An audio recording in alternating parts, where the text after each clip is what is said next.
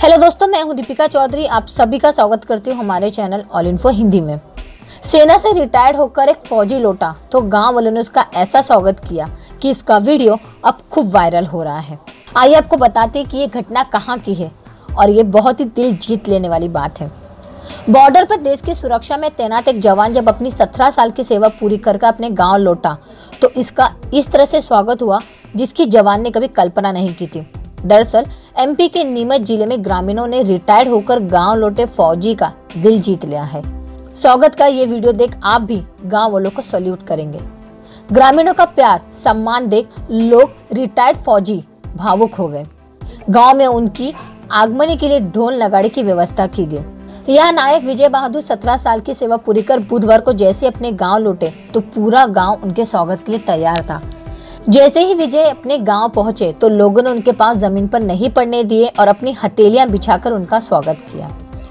दरअसल नीमच ज़िले के जीरन गाँव में 60 लोग फौज में नौकरी कर रहे हैं। उन्हीं में से एक फौजी विजय बहादुर सिंह अपने 17 साल की फौज की नौकरी से रिटायर्ड होकर जब अपने गाँव पहुँचे तो गाँव के लोगों ने उन्हें ज़बरदस्त सरप्राइज़ दी है। फौजी विजय बहादुर सबसे पहले शहर के गाँव पहुँचे जहाँ उन्हें गाँव के प्राचीन मंदिर में दर्शन करना था। उनके लिए गाँव वालों ने किसी कालीन की जगह अपनी हथेलियों को ज़मीन पर रख दिया, जिस पर चलकर फौजी गाँव के प्राचीन गणेश मंदिर पहुँचे। गाँव वालों ने फौजी का जुलूस निकालकर स्वागत भी किया।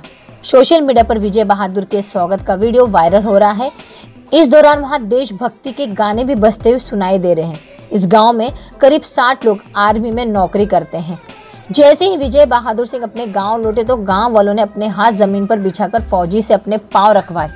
फिर उन्हें माला पहनाकर गाँव में स्थित गणेश मंदिर के दर्शन कर। इस तरह स्वागत देकर विजय बहादुर भी भावुक हो उठे। नीमच ज़िले के जीरन गाँव के विजय बहादुर सिंह भारतीय सेना में रहते हुए देश के अलग अलग राज्यों में अपनी सेवाएँ देकर 17 साल की नौकरी पूरी कर कर गाँव लौटे हैं। अपने गाँव वालों का इतना प्रेम देखकर फौजी विजय बहादुर सिंह के पास अपने गाँव वालों के लिए शब्द कम पड़ गए हैं। जो हमारे देश के लिए जी जान से लड़ता है और देशवासियों के लिए जान देने के लिए भी तत्पर, तैयार रहता है। दोस्तों, अगर वीडियो आपको अच्छा लगा तो लाइक करें। वीडियो में दी गई जानकारी के लिए आपकी कोई भी रहती तो ज़रूर कमेंट करें। ये वीडियो दूसरों तक शेयर करना ना भूलें। और भी ऐसे जानकारी भरे वीडियो देखने के लिए हमारे चैनल ऑल इन्फो हिंदी को सब्सक्राइब करें और साथ ही बेल आइकन को प्रेस करें ताकि नई वीडियो की सूचना आप तक पहुँचती रहे।